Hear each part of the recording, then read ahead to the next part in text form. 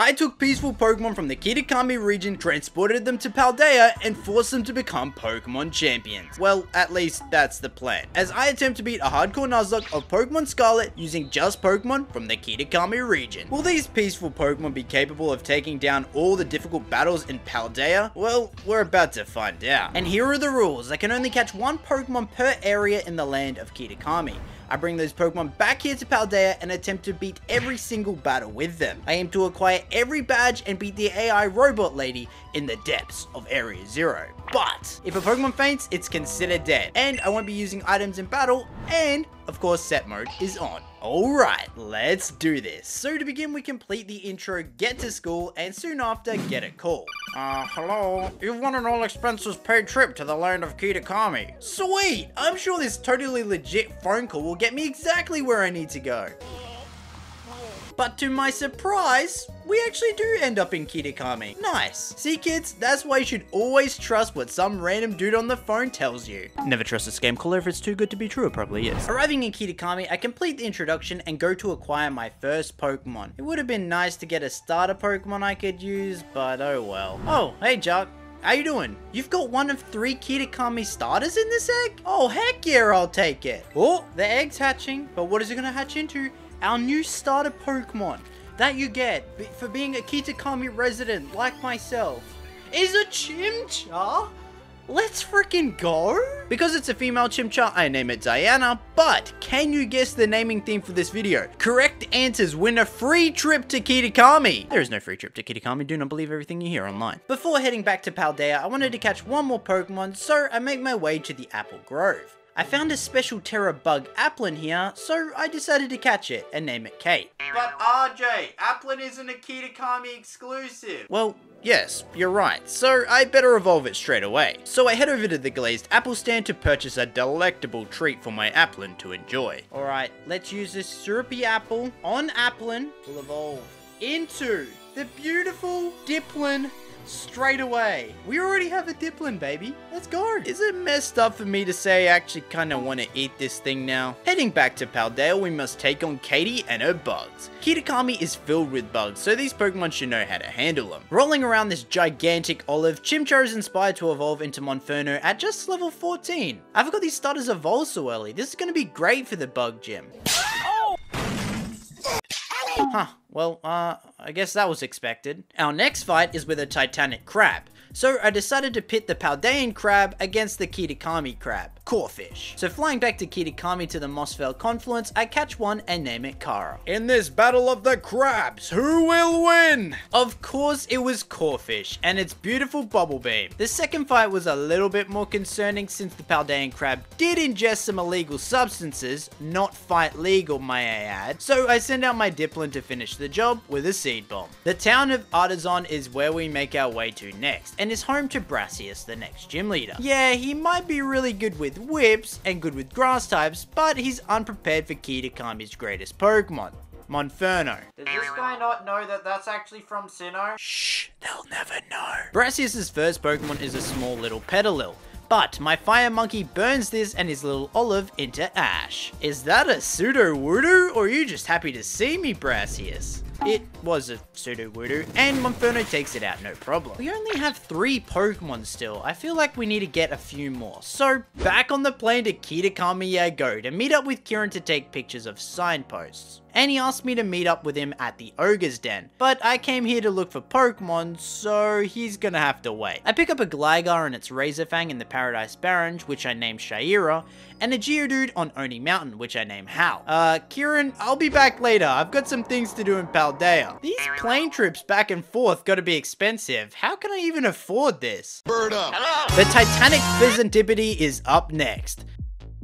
Um, actually, I'm a Bombirdier. Shut up, bird. Geodude, we're about to roll up and roll out on this fool. Geodude, use roll out. I know in my shiny only run, which if you haven't seen, you should totally watch, I said Bombirdier always scares me, but this time I feared nothing, taking down both phases with ease. Rollout's kinda OP. Onto the first starbase we go. Really? Your name's Clive? You think some glass is gonna trick me? I come from Kitakami. People are always concealing their identities. I know who you really are, Clive, and I know your secrets too. I can almost taste it. Anyway, let's go beat this Giacomo guy. I entered the battle one level under the level cap, and this would prove to be a massive mistake. Monferno fails to secure a quad effective Mach Punch on the Pawniard, landing us deep in the red, and against a giant car, Monferno needs to be switched out. I sent out Gligar since it does have Fury Cutter, but we only managed to get two off before needing to switch out. I send in my Terrabug Dipplin next and do some solid damage with Infestation, but I need to switch it as well because I got my special defense drop. So I swap to Geodude who nearly faints on entrance, so I switch back to Dipplin where we get our special attack drop. But fortunately get the Starmobile into the red, surviving a Wicked Torque with just 4 HP. All I have left now is Corphish, and I don't have a lot of faith in it, but we do dodge a Snarl and do get it one hit from death, but if it lands at Snarl, I probably die. But if it went for, I don't know, maybe Screech, that'd be nice. Huh. Sometimes I guess you can be lucky. Take the L, Giacomo. Taking down this totally legit student, our Gligar evolves into Gliscor, and now we're moving on to my favorite city in Paldea, Levincia. Arriving in Levincia, Nemona challenges me to a battle, which I was not prepared for. Dipplin knocks out a Rockruff and Pawmi, and in comes Crocalor. So I switch over to Corphish, who gets put to sleep, so I swap to Geodude, who should be able to finish the job. Oh, we're good. We take it out next turn. We drop its speed. We don't fall asleep until next turn. We good. Wait. It outspeeds us? Surely Incinerate doesn't... Surely Incinerate doesn't knock us out. Surely.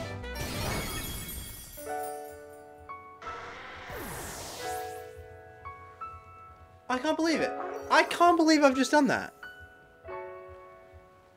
We've lost Geodude! With the loss of Geodude greatly weighing on my mind, I head back to Kitakami and end up catching a Spoink. I named it John, but then I realized that this isn't even a Kitakami exclusive, so I destroy it. But fortunately, I never even used the thing. Hey RJ, did you get lost? I've been waiting here for ages.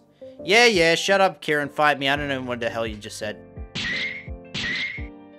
Heading back to the town, we get our traditional Kitakami Jinbei, and damn, this is way cooler than those lame-ass school uniforms I've been wearing. I visit the local festival after destroying Carmine in a battle and run into a cute little character who drops its mask and runs away. That's Ogerpon, the star of the Teal Mask DLC, and I like that one. I think I might get one of those myself. Okay, and with that, I think we should head back to Paldea. Did you touch grass yet, Iono? No? I'm not surprised. We take down a Wattrel with Gliscor and swap to Dipplin to deal with Bellibolt. It took 3 Dragon Breaths, but everything Bellibolt had we quad resisted. Luxio in next has Bite, but Dragon Breath knocked it into the red. We get Flinch the next turn, which is annoying, but we take it out after that. Weak though, I get Dipplin out of there ASAP because Mismagius is very scary and quick. Mismagius terastallizes, it goes for Confused Ray, okay that's fine. That's fine. That is actually good. I'm happy with that. It uses Charge Beam. But, we switch to Gliscor, who resists it, and we're all good. I've done it. Get baited. Your boy Gliscor resists that. I think we just have to risk poison jabs. I think that's... Oh, Hex. Does that do increased damage? No, it doesn't. Oh, we snap out of confusion first turn. Let's go, Okay, we should be good. We should be good. We should be good. Oh my god. This thing's trolling. Don't. Oh my god. Don't do it, Shayera. Do not do it.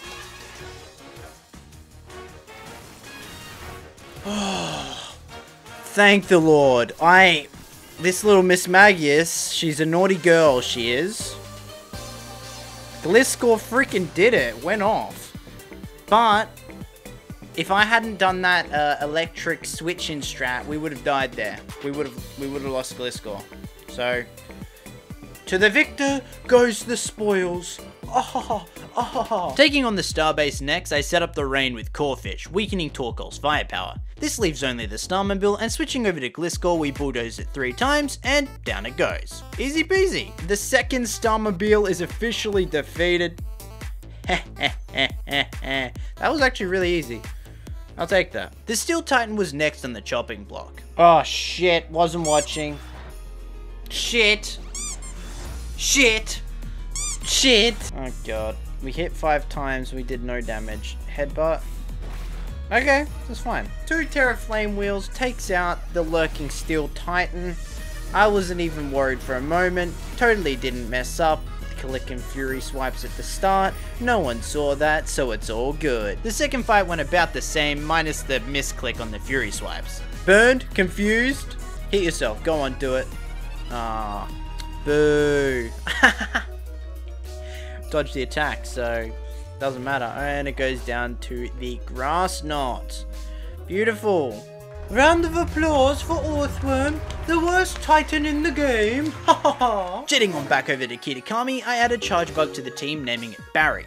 I evolve it with a Thunderstone. I think we have a Thunderstone in here. Yeah, we do, which is perfect because we can evolve Charjabug into Vikavolt straight away for this gym, which is going to be perfect. So we got Crawdaunt and Vikavolt. Damn, Vikavolt looks really good in this game. Like, I was using it shiny in the previous video, which if you haven't seen, you should totally check out, and that looked really cool, but even the base looks really cool. I hadn't seen it yet. And also, Corphish evolved into Crawdaunt, which is fine, I guess, but we're about to take on a water gym. So Vikavolt will be way more useful. His first Pokemon is a Veluza, which I forgot had Pluck, which deals significant damage to Dipplin.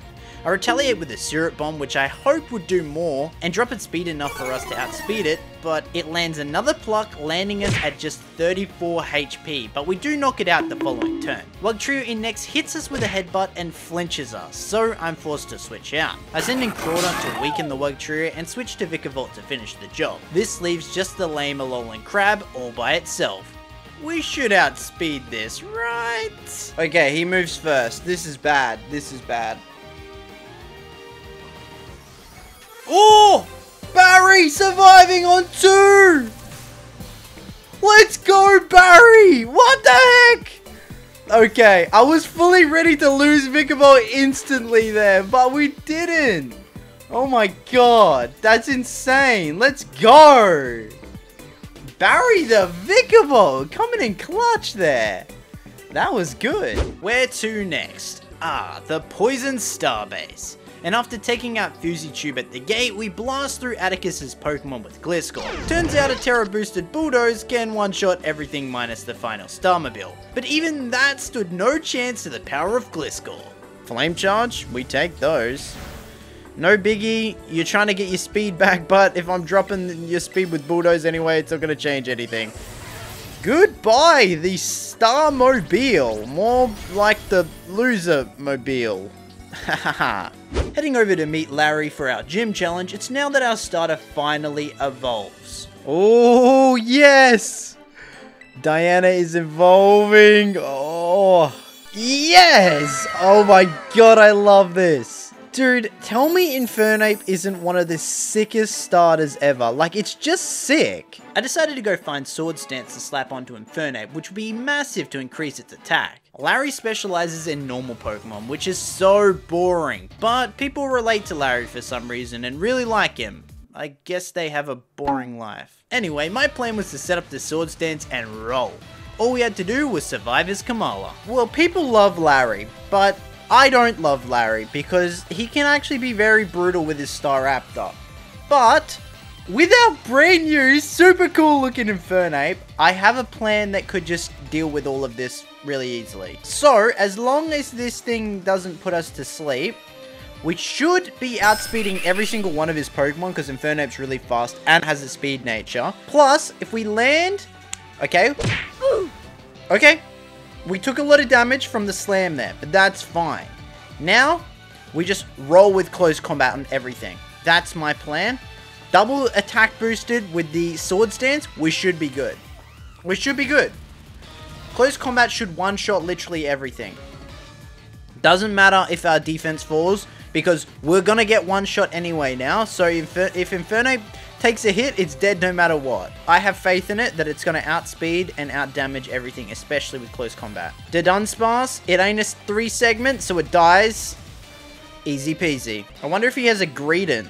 Nope, he has a Staraptor. You'd, you'd expect him to have at least four Pokemon since it's like a normal gym, super easy. He has a Greedent on the back wall, doesn't even use it. Wait, you reckon that's a drawing of like Kitakami in the background? That would be kind of cool if it was.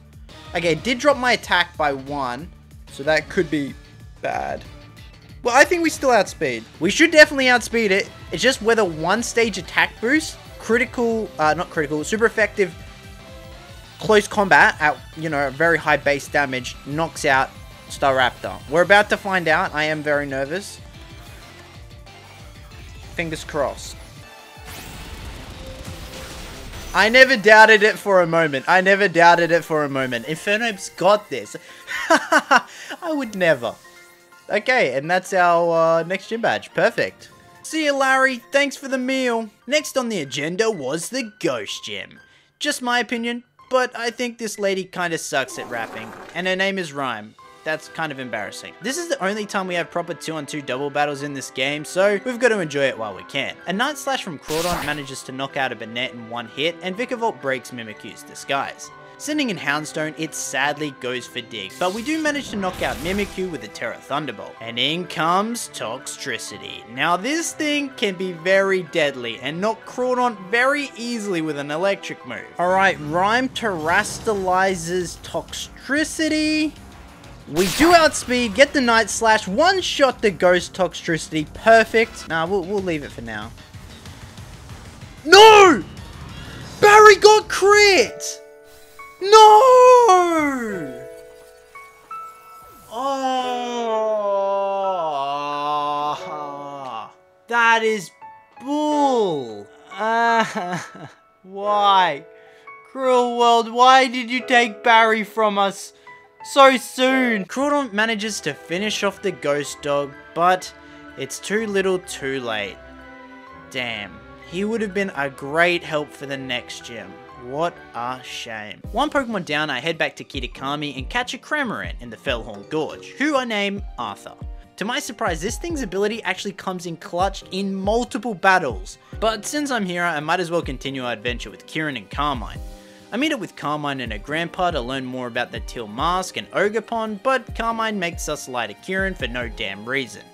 The Worst Sister of the Year award goes to you, Carmine. Congratulations. We take on Kieran at the final signpost, which was super easy, and take our picture. Heading up to the Loyal 3 shrine, a great purple light erupts from within, and the three come four. What are these guys' names again? Onky Donkey, Swaggy Daggy, and Pecker Pikey or something like that? I don't know. Whoever named these guys is so lazy, but they're up to no good and track the friendly ogre up to its cave. We defeat Monkey Donkey Kong and check on Ogerpon. Thankfully, it's okay, but it has had its other three masks stolen, so off I go to track them down. I defeat all of them with ease and obtain every single mask. But fighting Fezandipiti, my team starts to border on the level cap, so after defeating the three Titanic Pokemon, we go take on an actual Titan. Great Tusk, the Ground Titan. You know how before I said Cramorant's ability would come in handy? Well, this is just one of those times. We take a rapid spin from Great Tusk which boosts its speed, but we dive under the water using Dive, dealing a little bit of damage but coming up with a fish in its mouth. Next turn I terastallize it and barely survive the rapid spin. But when Cramorant gets hit with a fish in its mouth, it oh. spits that thing out right at the enemy, dealing damage and dropping the defense of the enemy. This allows us to finish the job with a Drill Peck the following turn and move on to Battle 2, where yet again Cramorant with the assistance of Gliscor knocks it out. If only the next fight was that easy. Meet Tulip. She's a psychic specialist and a devil in disguise. Leading with Farigiraf, we take it down with two X scissors, dodging its Zen headbutt. Gardevoir in next would be problematic, but we do have Poison Jab, so it's not problematic. And we're not a poison type, so we're not weak to it. So, this should be solid, but not solid enough to knock it out. And in return we get hit with a Psychic, dropping us to half. We take out Gardevoir the next turn, and in comes Spathra. Espathra sounds like a disease, I'm not gonna lie. Fearing Gliscor's life, I switch to Dipplin who takes a Psychic on entrance. Terastallizing it, we use Infestation, which knocks it out, and in comes her final Pokemon, Florges. Now it's gonna Terastallize Psychic, so Infestation will be good, but I'm thinking we click Recover first, then Infestation, then Recover again. I feel like Oh shit, it might outspeed us. Hang on. Hang on, hang on, hang on, hang on. Oh, this was a mistake. No, this was a mistake. We're about to lose. We're about to lose Dipplin.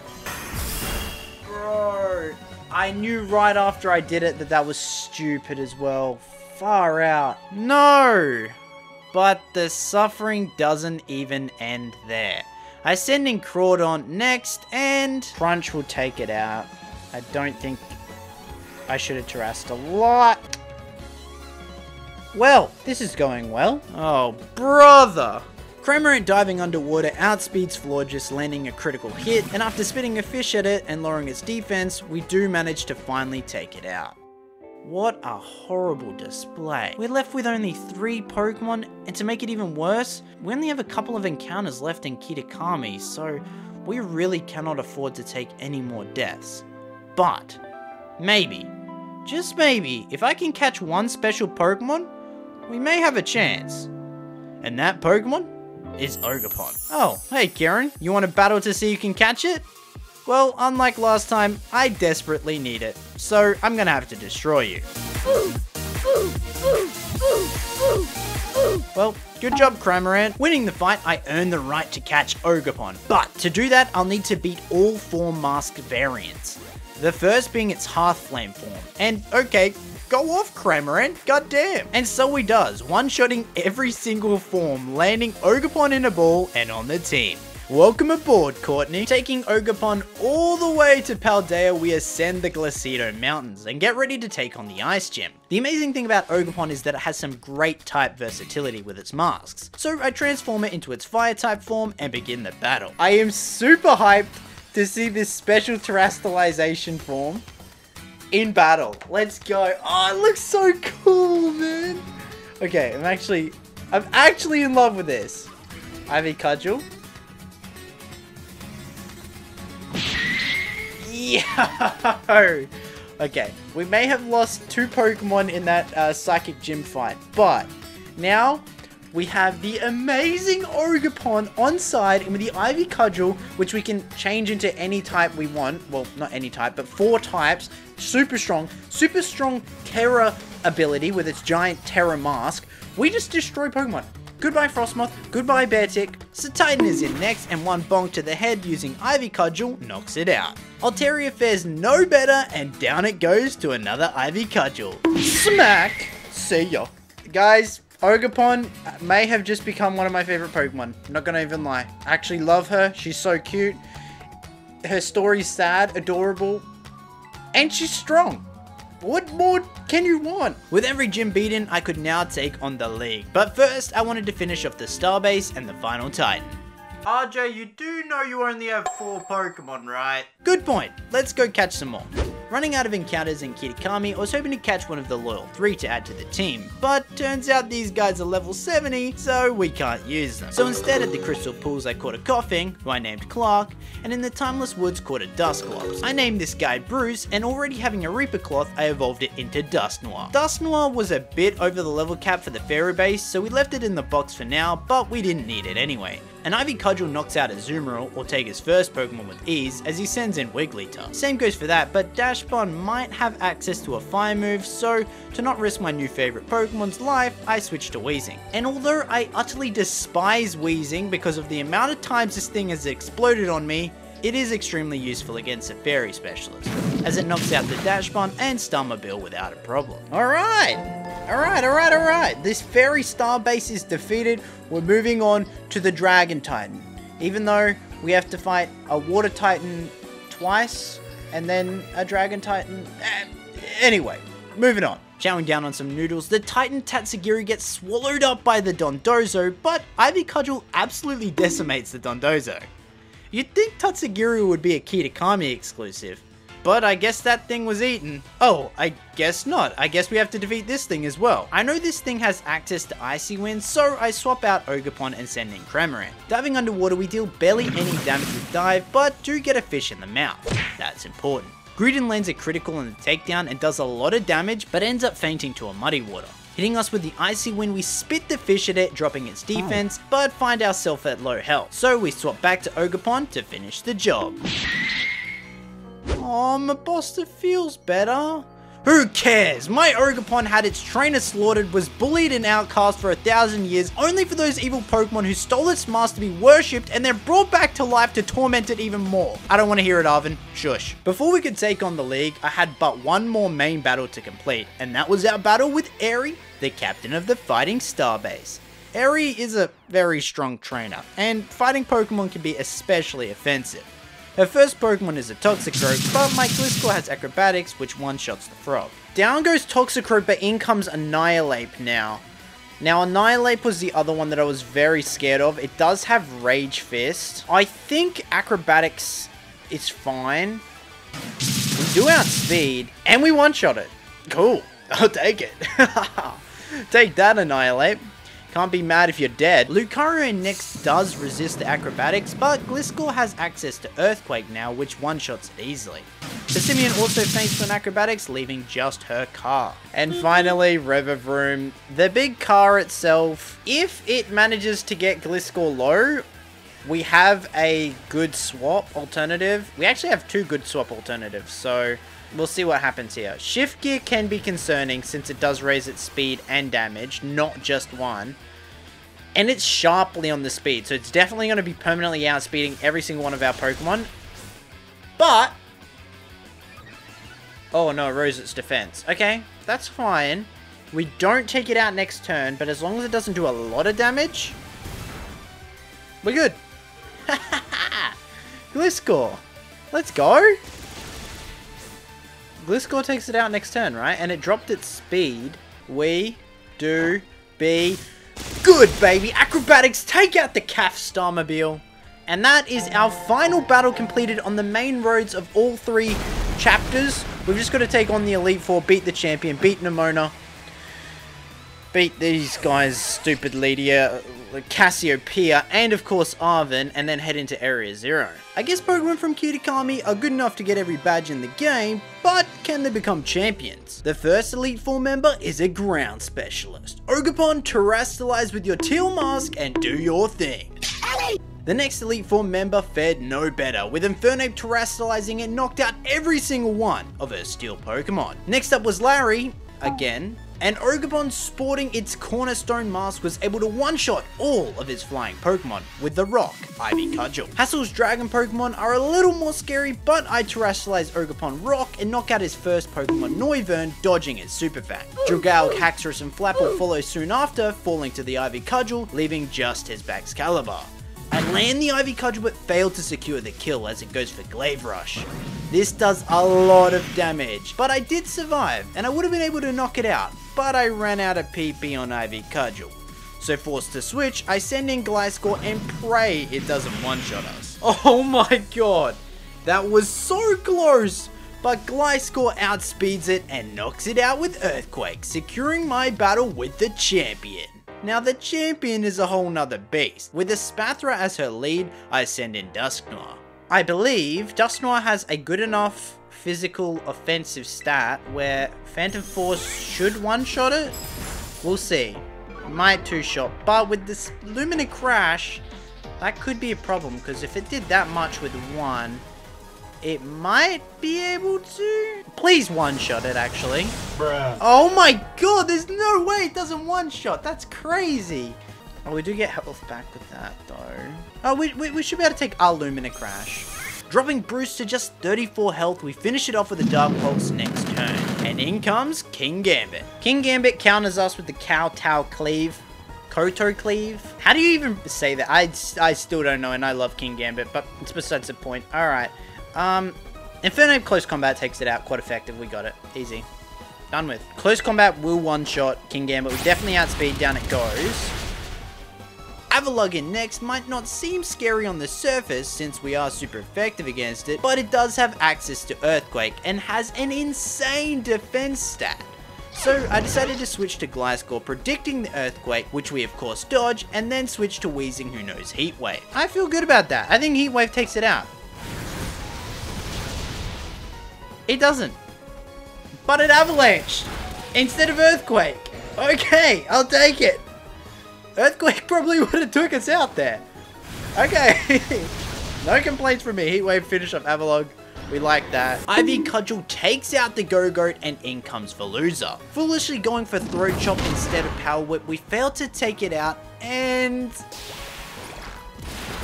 Oh, never mind. I was never even scared. I was never scared. I... Never even scared. I never doubted you for a moment, Ogerpon. Not a single second. Finally, Glimmora. Now, in practice, Vine Whip or whatever the Power Whip will take it out, but I also don't necessarily want to risk it because it does have Sludge Wave. And we could just switch to Cramorant. No, uh, that's flying. Could switch to Gliscor. So it is Tera Rock. Sludge Wave is fine. We resist that. Let's... Yeah, yeah, yeah, yeah. We Terastallize. We Terastallize. We definitely outspeed. We lose our, uh, our weakness to the Tera Blast. So even if we don't kill it, which I think we will, it will be able to survive a, a Tera Blast from it. Right?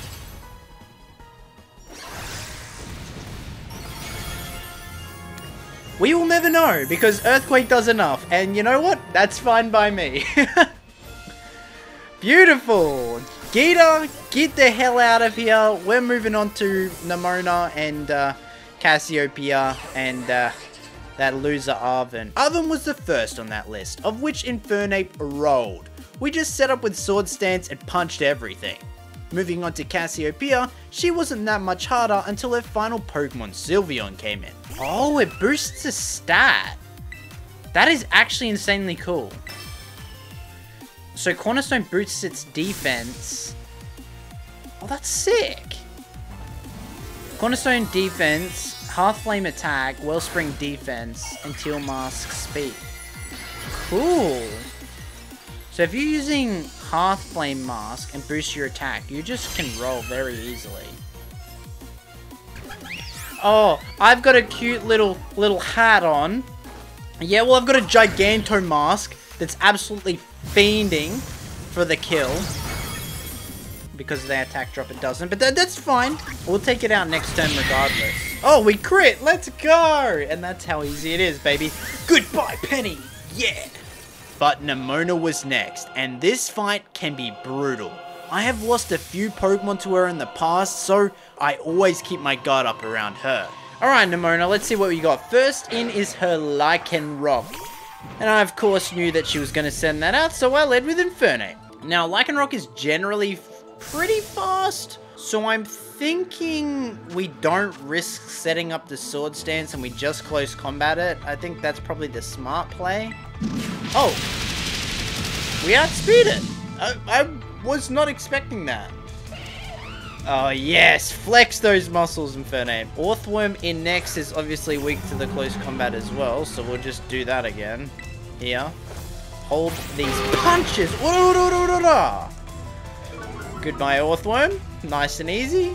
Goodra, I think, does have a water move. Like, Aqua Tail or Muddy Water, I think, from memory. Yeah, we go into Dusknoir. Dusknoir has Ice Punch. Should be able to take hits.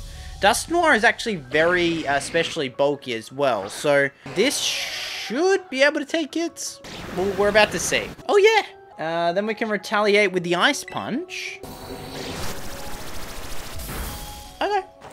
We can take one more of those if Ice Punch doesn't take it out, which it doesn't. And we get a little bit of health back. Just, okay. I was confident, but you know, sometimes if it high rolls or crits, things, bad things can happen. Good job, Dusknoir. I love how there's a smiley face on its back. It's actually kind of adorable. But also, it lures in children. So, I guess that's bad. Gliscor resists it, so it probably goes for like, what, electric... What's it called? Double shock? Is that it? Is that its move? Yeah! We don't get hit by those, baby. We absorb that. Earthquake should take it out. Yeah, I would say so. It outspeeds! Oh, oh my god. 35 HP. That was almost... Ice Punch is quite effective. I didn't even realize it had Ice Punch. Let alone that it would outspeed Gliscor. I'm just glad we didn't die. I, just never noticed that. I'm actually not sure on this. Because the thing is, Dunsparce has Hyper Drill, which is super effective against Infernape, which it used. Please don't kill it. Oh! We lived a crit! Uh, I'll take it, but close combat should take it out, right? We definitely outspeed. Yeah, okay, we good. Close combat should take it out. Cool, okay.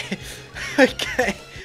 I'm surprised we lived a drill run freaking crit. That's insane. Damn, Infernape, you're kind of, kind of a beast. Skeledirge, the final one. All right. The the Courtney switch here probably clicks Earth Power, right? You'd, you'd assume. Or Shadow Ball.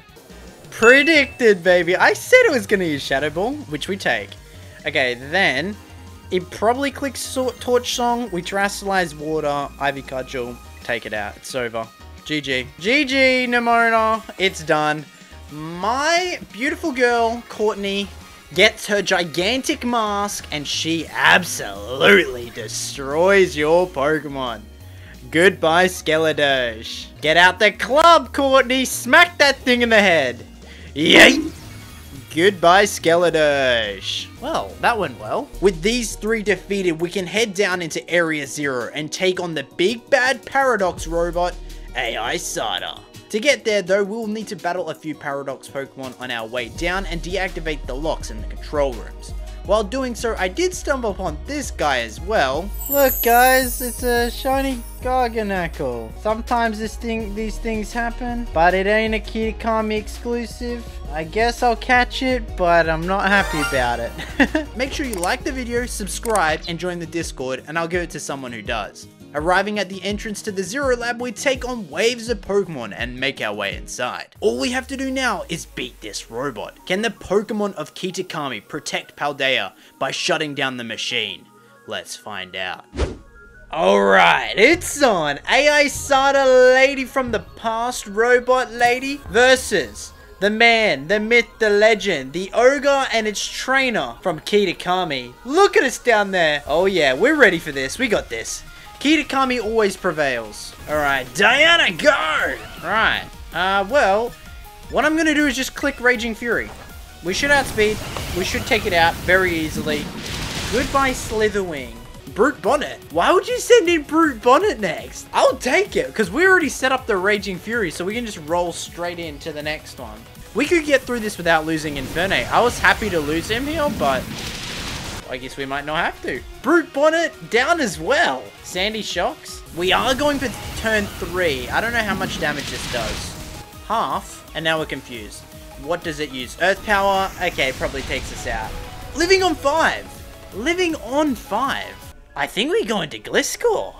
Yeah, that's definitely the play. We're good. We save Infernape, it doesn't die. I like that. Diana was amazing this whole run, so... No Earth Power today!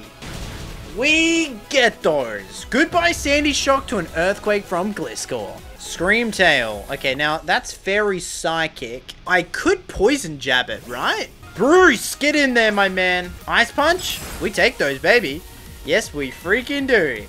Hitting back with the Phantom Force. Well, I guess next turn. Screamtail goes for Play Rough. We dodge it because we're in the Phantom Zone. Phantom Force? Almost. You can't see me because I'm in the Phantom Zone. Goodbye, Screamtail.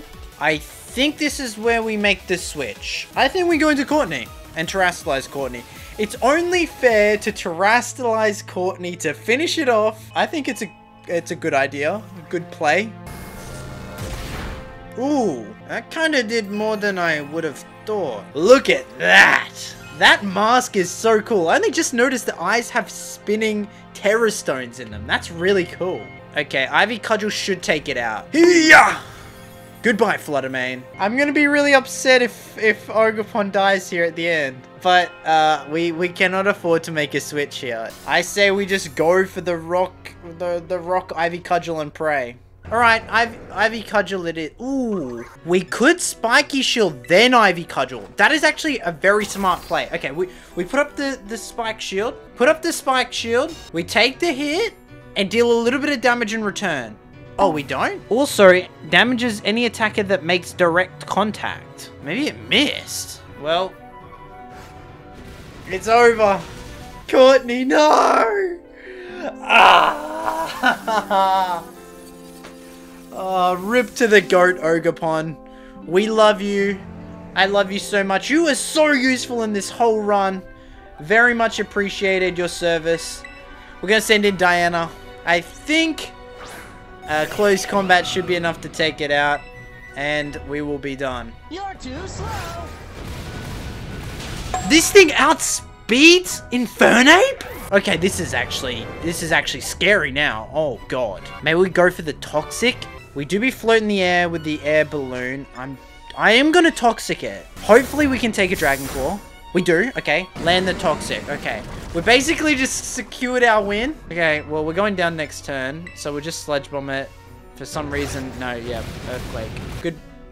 Thanks for nothing. Actually, you know what, Weezing? You might have actually just saved the run, unironically, with the Toxic. It might have actually just saved the run. Okay, no, it's over.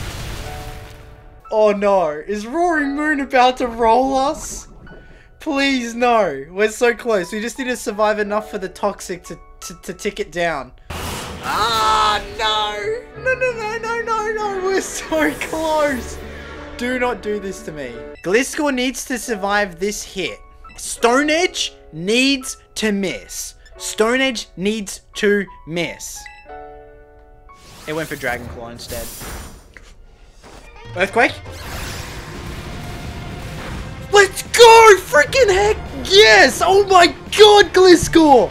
I thought we lost that 100%. I thought we completely lost that. I thought I completely screwed that up, but thankfully, Pokemon that I was deeming useless, Weezing, lands the Toxic, gets it weak, and then everything dies except freaking Gliscor, and it clutches it out. Oh my god. Well, I guess that is how we beat Pokemon Scarlet using only Pokemon from the region of Kitakami. I hope you guys enjoyed this video. If you did, slap like, hit subscribe. You know your boy's going to be making content pretty much every single week at this point. So, I mean, why not subscribe if you like this, you'll like something else. And I'll see you guys next time.